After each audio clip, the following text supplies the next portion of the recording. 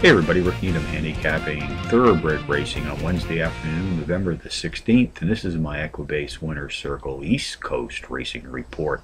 Let's go to the Big A Aqueduct for race number 7, their feature, 3.17 p.m. Eastern Post Time. This is the May Night Stakes, 8.5 furlongs on the turf, two-year-old fillies race for $60,000. Contenders number 9, Crazy Party, number 3, More Than Love, number 4, Lasha Mana Mama, and number 5, Cute Cadet.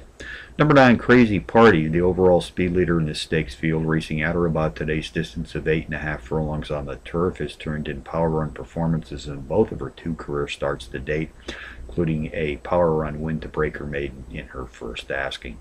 Jockey Johnny Velazquez and trainer Todd Pletcher sent her to the post. They've hit the board with 55% of more than 400 entries saddled as a team to date.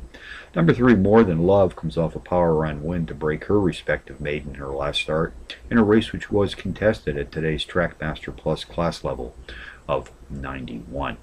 Race 7 summary number 9 Crazy Party tops the contenders list which also includes number 3 More Than Love, number 4 Alasa Mana Mama, and number 5 Cute Cadet 9345 in the 7th from Aqueduct the $60,000 May Night Stakes. Go to Churchill Downs next for race 9 on their card 4.34 p.m. Eastern Post Time. Six furlong sprint on the dirt. Three-year-olds and up race for an optional claiming purse of some $55,000. Contenders number 6, Tend. Number 1, Congressional Page. Number 2, Golden Country. And number 3, Cool Bullet. Number 610 takes a class drop at some five TrackMaster units as the pace profile leader in this optional claiming field.